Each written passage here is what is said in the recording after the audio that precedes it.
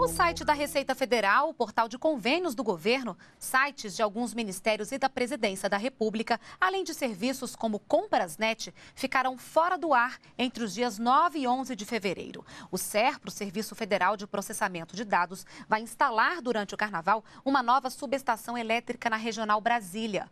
O objetivo é aumentar a capacidade da rede elétrica local.